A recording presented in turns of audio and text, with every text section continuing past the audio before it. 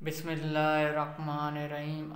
वालेकुम रहमतुल्लाहि व बरकातुहू मैं हूँ रहमतुल्लाह ग्वादरी। आज आप लोगों को ये किस्सा सुनाए, सुनाऊँगा। आ जाए सुनिए किस्सा में लिखा है, हज़रत मिर्ज़ा मज़ार जाना, जान जाना रहमुल्ला की एकात एकात में खान साहब ने फरमाया, ये किस्सा मैंने किसी बुज़ुर्ग से नहीं सुना, सिर्फ़ दीवाने दीवाने से सुना। वो बयान करते थे कि मर्ज़ा मर्ज़ा जान, जाना रहमुल्ला का ये मामूल था कि जामा मस्जिद में जब जुमा की नमाज़ के लिए तशरीफ़ लाते हुए तो जुनूबी दरवाज़े से दाखिल होते और जब नमाज़ से फारग होकर तशरीफ़ ले जाते तो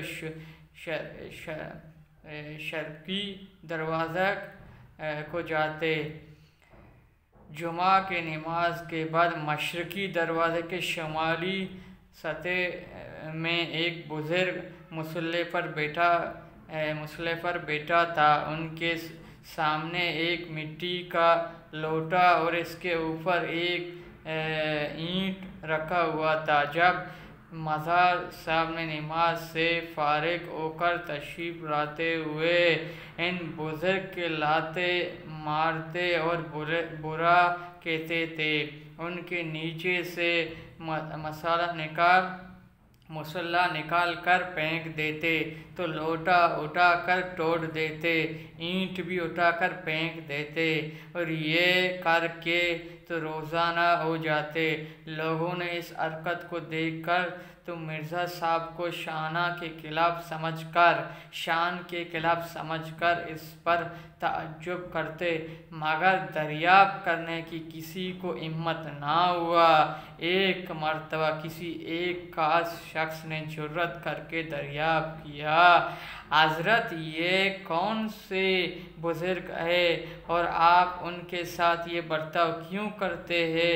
मिर्ज़ा साहब ने फरमाया, इसका वाक़ यह है कि जब हम लड़के तो हमारे शिकल सूरत अच्छी थे, हमारे चाहत वाले हमारे पास आते करते, ये भी हमारी चाहने वाले में से था, ये भी हमारे पास आते करते। इस वक्त इसको यही हाथ तामा और ओकर करते। जो हमने जवानी होते हुए हमारी चाहत वाले रुखसत हुआ, मगर एक शख्स तामा जो बड़ा आता रहा।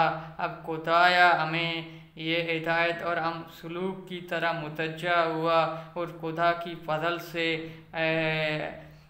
इजाज़त हुआ। एक रोज़ हमें ख्याल हुआ, ये शख्स बा, बावफा दोस्त है इस तरह तवज्जा करना चाहा मैंने इसकी तरह तवज्जा में इसकी अक्स दब किया। मैंने इसको अपने से बहुत ऊँची देखा। अब मैंने नहायत परेशान हूँ। मैंने इसका नहायत आदाब किया और अपने जगह इसलिए छोड़ा और कहा, इस जगह की काबिल नहीं हूँ। आपने मेरी जगह तशरीफ़ रखा। मैंने आपकी जगह इस, इसलिए ना माना मैंने बहुत इसरार किया, मगर इसने मेरी इसरार कभी ना माना और कहा, तुझे मेरी साथ दबाना पड़ता करता हूँ। जो आप करते रहे इसको मैंने ना माना, इस पर उन्होंने मेरी ताम कैफियत सलब कर दिया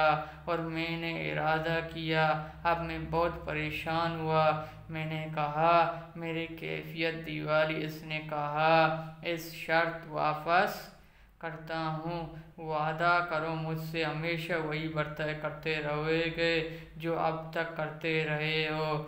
यहाँ बल्कि जामा मस्जिद में सब लोगों के सामने लगता है कि गाली भी तरह मुँह से किया, कुर्बानी तेरी यह था तो हमारे अदीस, आप लोगों को कैसे लगा? अच्छा लगा मेरा चैनल को, सब्सक्राइब करें, लाइक करें, शेयर करें। अभी मुझे इजाज़त दीजिए। अल्लाह हाफिज़।